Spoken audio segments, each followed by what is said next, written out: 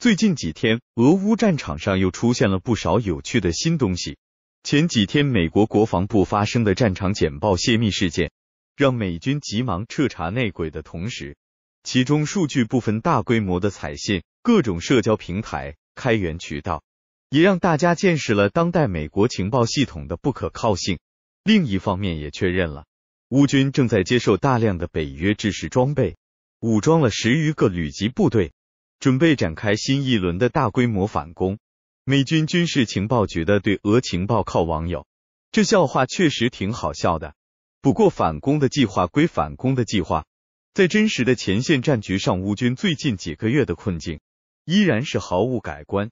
并随着近来炮弹与火炮的愈发短缺，以及机械化装备的不断损耗而更加严重了。比如最近在巴赫穆特方向，乌军依然在利用俄军留下的最后一条交通线。源源不断的向城中剩余的街区填作战部队，但由于乌军少了炮兵的支持，俄军可以越发自由的使用突击分队来引导炮兵，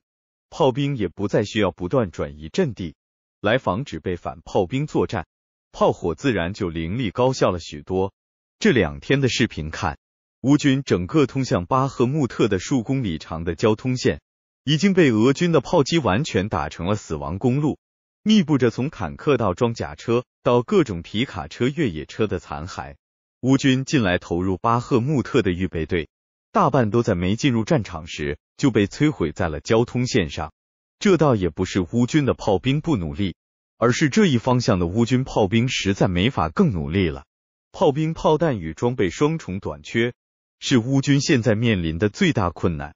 前几天网络上放出了一段。对这个方向的乌军炮兵的采访视频，其中乌军一个炮组就提到，他们这支分队已经耗尽了全部的炮弹，只能坐视对面的俄军向着乌军各阵地倾泻绝对优势的火力，而他们的上级指挥官在知道他们耗尽炮弹之后，想的也不是组织后勤给他们送些炮弹上来，而是要他们想办法克服一下，现在整条战线都在缺炮弹。并组织他们作为步兵参与战斗，让炮兵这种宝贵的技术兵种作为步兵参战，某种程度上也算是乌军现在部分地域面临的窘境的一种体现。但这种窘境却只是与俄军激战的前线乌军才面临的。另外一些乌军炮兵部队不光是没出现前线普遍的缺炮弹的情况，相反，他们还能将大量的炮弹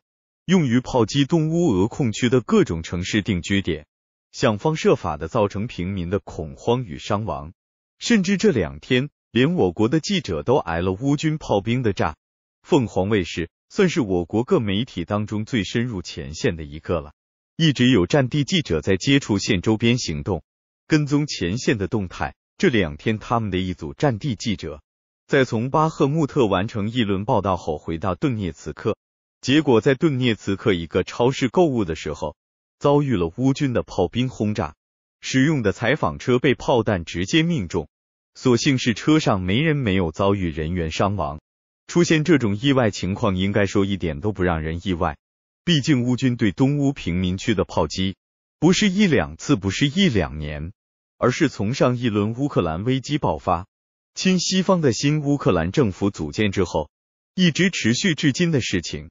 虽然中间有两次明斯克协定要求停火，但过去的七八年时间里，白乌军的炮击已经成了顿涅茨克与卢甘斯克人日常生活的一部分。只不过这次凑巧，乌军的炮击一般都是瞄准人员密集的超市等地进行的，这次瞄准的这个超市正好有我国的记者在而已。应该说，美国扶植的政权在对平民重拳出击这一点上。还真是有他们独特的相似性。乌军用来炮击平民区的装备也是五花八门。开始时是苏联老炮，西方开始援助 M 七七七之后，顿涅茨克城外的乌军第一时间就得到了 M 七七七。美国开始援助海马斯，乌军丢掉了皮斯基等顿涅茨克接近地之后，就开始使用海马斯，在更远的地方对顿涅茨克城区打火箭弹。这次凤凰台的记者也是挨了火箭弹的炸。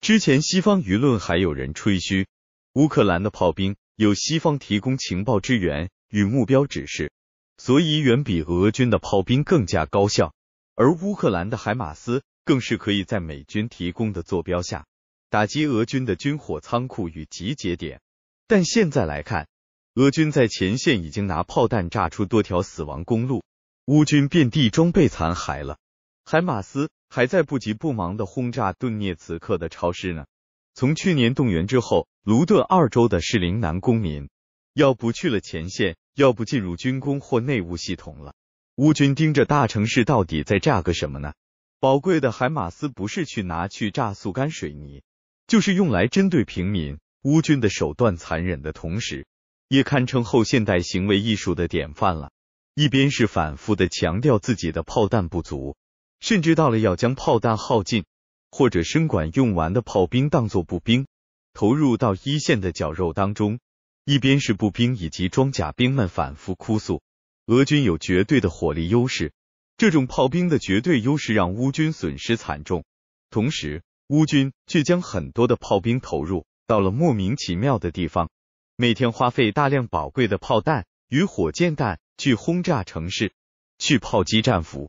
而且这种炮击城市针对平民与记者的行动，也不仅是哪一个乌军部队在进行，是所有的乌军部队到前线都会进行，就很让人怀疑乌军如此行动的背后到底在追求什么，想达到什么样的目的，我们也不知道。一年只有五千发左右海马斯采购量的美军，在见到乌克兰一日数十发地向非军事目标砸宝贵的制导火箭弹，会不会觉得血压飙升？但长远的看，乌军这种欺负不了俄军就轰炸平民的行径，大概还会持续很长的一段时间，甚至持续到冲突双方正式停火之后。就像他们在之前签订明斯克协定之后所做的那样。乌克兰当局在对待东乌与西乌的态度上差异是非常大的，简直可以用一个天上一个的下来形容。尤其是自俄乌冲突以来，乌克兰更是直接暴露本性，频频默许乌军对东乌地区的炮击行为。据中国电视台凤凰卫视报道称，凤凰卫视记者卢宇光与摄影师等人员开车前往顿涅茨克采访期间。就受到了来自乌军的炮火袭击，停在路边的采访车更是被乌军通过海马斯火箭弹直接命中炸毁。所幸卢宇光等人当时并未在车上，因此保住了性命。据团队中的司机伊万表示，在停好车后，他们就前往了超市，但仅过去了一分钟的时间，就听到了炮弹爆炸的声音。回来后才过了不到一分钟的时间，就立即又有新的炮火袭来。所幸最终团队并没有人受伤，但据当时顿涅茨克的消息称，这次乌军对顿涅茨克的轰炸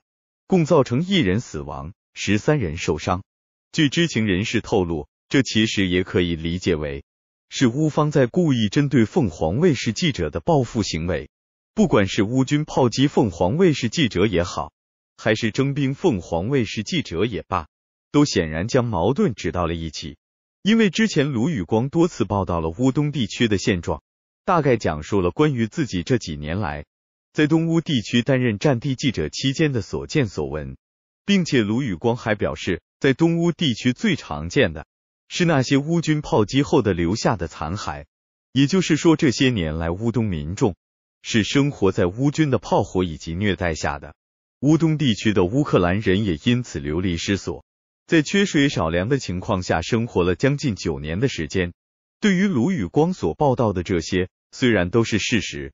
但却是令乌克兰当局难以接受的。所以说，对于这些个针对凤凰卫视记者的事件，很难不怀疑这是乌克兰当局故意为之的。